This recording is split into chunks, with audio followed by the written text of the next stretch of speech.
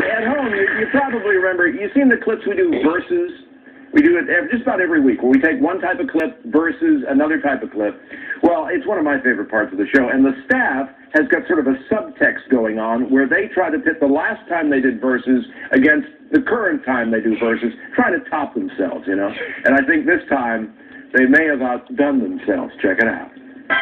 Tonight on Versus, kids with buckets on their heads running into things versus dogs playing piano.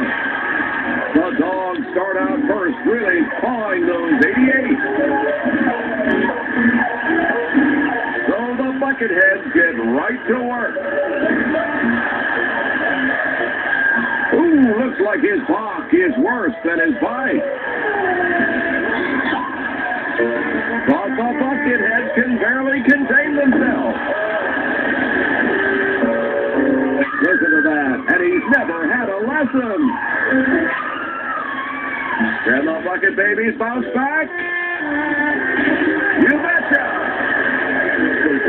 What's this? An electric piano? Those are really plugged in. But this bucket baby's turning up the heat. It's their last chance to much better end on a high note. And the winner their heads running into things. Join us next week when Bucket Kids take on the Rosside Babies on Versus.